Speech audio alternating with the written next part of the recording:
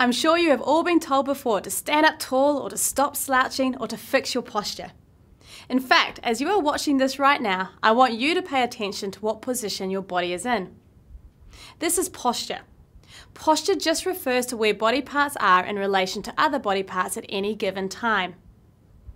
Posture can either be static, as when you are sitting still or not moving, or dynamic, like when you are doing something or moving.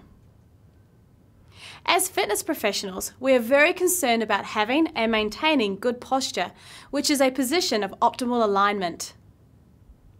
When we are aligned optimally, we conserve energy. There is little stress on the body, and the spine is in what we call a neutral position. There are many factors that go into changing posture or creating bad postures. Things such as poor nutrition, stress, and poor mechanics can all have an influence on posture. For example, tight muscles or weak muscles, like when you sit slouched at a desk all day, can cause tight chest muscles to cause a rounding of the shoulders, thus negatively influencing posture. But before discovering what is wrong, you must first know what is right.